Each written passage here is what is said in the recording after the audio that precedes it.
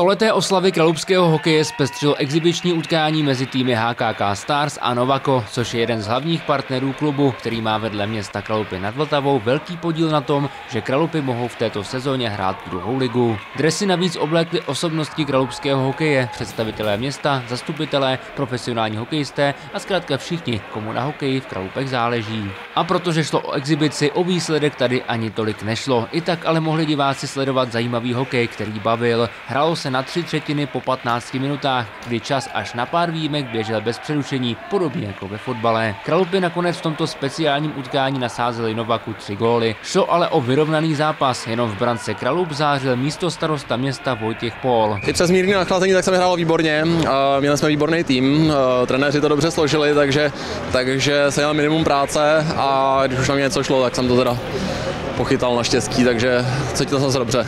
A to je moje vlastně první nula sezóny, takže jsem rád, že jsem ji mohl předvést tady při takové významné události při 100 let kralovského hokeje. Tady nešlo o to, kdo vyhraje. Je to součást oslav 100 let hokeje a my jsme prostě si chtěli tady ukázat, že máme spoustu mladých hráčů, ale my jsme ten tým stavěli z těch starších hráčů. Zápas byl úžasný, je úplně jedno, kdo vyhrál, hlavně, že jsme všichni přežili a že jsme se pobavili. Už je to skoro sedm let, co jsem naposledy stál na bruslích.